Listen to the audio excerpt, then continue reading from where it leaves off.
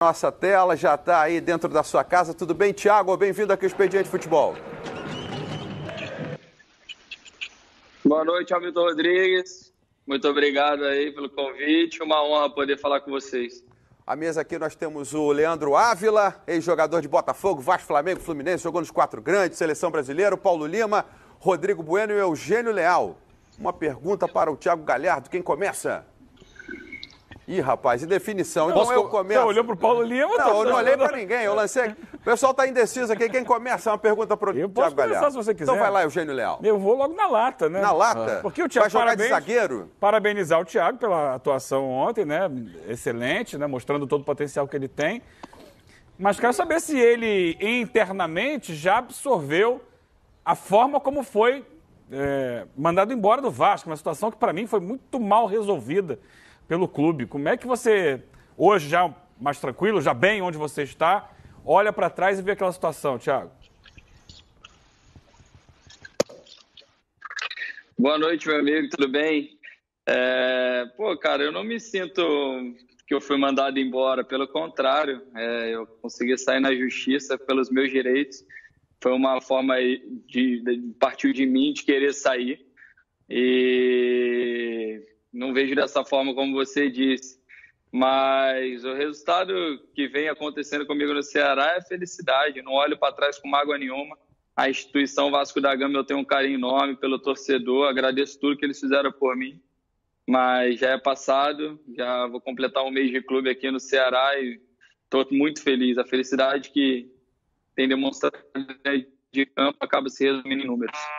Eu não tinha noção de tanto tempo já, né? De, de um mês já que, que o Thiago tá, tá jogando no Ceará. É, porque ele saiu do Vasco na reta final é. do Campeonato Carioca, né? No Maracanã. E dois gols decisivos, né? É, e ontem realmente brilhou. dois gols decisivos. É, eu acho que o Thiago Galhardo deveria estar no, no elenco do Vasco. Foi, uma, foi um erro do Vasco ter permitido a saída do Thiago Galhardo. É, ele, ele, colocou aqui pra gente, é, ele, ele, ele que acabou pedindo. Mas a maneira como o Vasco comunicou o desligamento dele, naquela situação, com os jogadores dizendo, dando a entender que havia dentro do elenco alguém é. Aquilo ali ficou muito chato. É, eu é. acho que o clube a, ima trabalhou muito ficou... mal naquele momento. Mas acho que página virada, ok. Está esclarecido. Está muito bem. Ô, ô Tiago, agora essa semana foi embora o Maxi Lopes, né? Um outro elemento que deixa aí o, o elenco vascaíno. Você acompanhou essa saída do Maxi Lopes?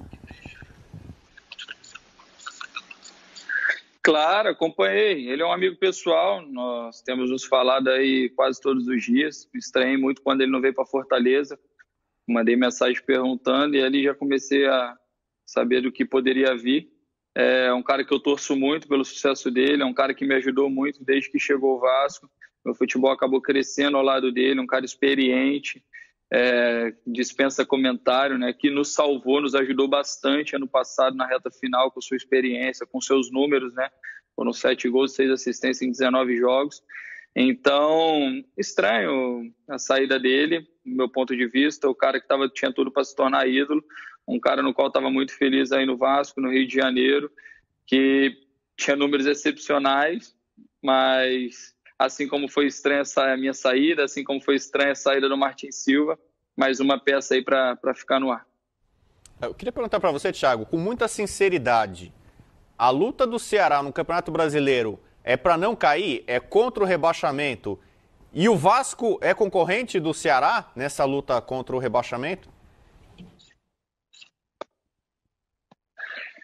Olha, para sermos sinceros, sim. O Ceará e o Fortaleza, times aqui do Nordeste que, que acho que depois de tantos anos estão jogando novamente a Série A ao mesmo tempo.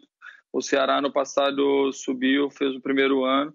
Obviamente que o primeiro objetivo é sim escapar e depois começar a pensar na parte de meio de tabela ali para uma Sul-Americana e aí se deixarem sonhar e o time encaixar, brigar ali para uma pré-Libertadores. Essa é a realidade. O Luxemburgo deu uma, uma entrevista dizendo que o Vasco tem que recuperar o respeito da camisa, né? Que a sinceridade é não ganhar títulos e sim recolocar o Vasco no patamar que ele deve.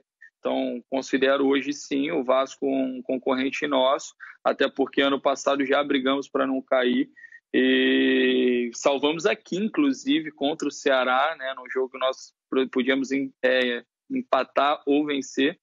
Então, hoje, pela até a tabela, a forma como eles começaram o campeonato, com mudança de treinador, é, considero sim um concorrente, mas largamos muito bem. Se nós mantivermos essa forma de jogar, conseguir conquistar os pontos em casa, principalmente nesses dois próximos jogos, isso já vai começar a ser página virada e pensar já em Sul-Americana, recolocar o Ceará numa, numa competição internacional que eles só participaram uma vez em 2011. É, a gente, quando olha a tabela no fim de semana, acabou a rodada, né? Vamos ver a tabela de classificação. Aí vem lá a primeira página. Se seu time não está na primeira página, já dá aquele friozinho na barreira. E o Ceará está na primeira página, não no colocado. Fala aí, Paulo Lima. É, porque o Thiago ressaltou bem. É, encerrar, é só por último, então. Você ressaltou bem a sua amizade com, com, com o argentino, com o Max. Tem caminho para ele no Ceará? Você está indicando ele aí para jogar com você?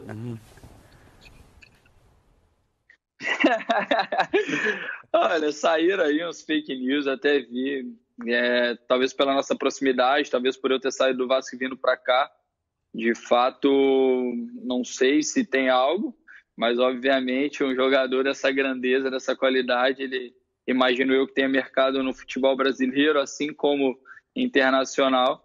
E se ele vier, estarei de portas abertas para recebê-lo, para ter uma boa concorrência. O Berg está muito bem, o Bueno também está bem mas que jogadores de qualidade sempre é bom para vir somar. Mas aí, se chegar, vai ter que disputar contigo, né? Que a gente viu ontem que você está mais ofensivo, está jogando mais na área, fazendo gol. Essa briga pela 9 vai ser boa, hein? Cara, não, eu não sou camisa 9, eu estou fazendo o papel de 10 ali. Esse papel é do Bergson. É, tenho me colocado bem ali, o professor tem pedido para pisar na área, eu tenho, tenho jogado da forma leve, o time tem me dado essa, essa leveza para jogar, o professor tem me passado a forma que eu mais gosto de jogar, que é flutuando entre as duas, duas últimas linhas, é com liberdade de movimentar para o lado direito e esquerdo, e na hora de marcar, só fechar ali o espaço, né, pressionar só para o homem, o volante. Então, tem facilitado muito o meu jogo e os resultados acabam acontecendo de uma forma bem natural. Tiago, obrigado pela presença aqui com a gente no Expediente Futebol. Boa sequência aí na sua carreira. Que seja um bom campeonato brasileiro para o Ceará e para você em especial. Muito obrigado, eu que agradeço o carinho por poder participar com vocês. Um abraço para todos da mesa. Fica com Deus.